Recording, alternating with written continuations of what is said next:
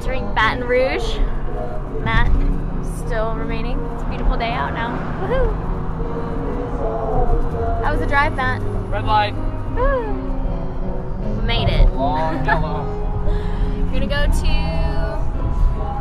Tony's. Tony's. Tony's Seafood. It's part of the Witness Protection Agency. Got moved down to Baton Rouge.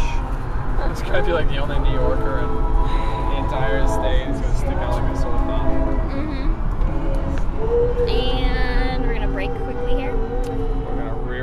rear end. Caution sudden stops.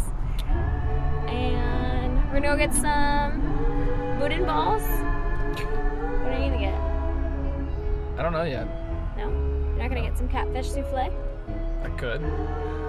Catfish po' boy? It's all up in the air at this moment. Right now, I need a toilet. And then we're gonna drive by LSU and see if I can live in this lovely, Yeah, it's gorgeous. lovely town. I got a Jack in the Box, which is pretty more to come.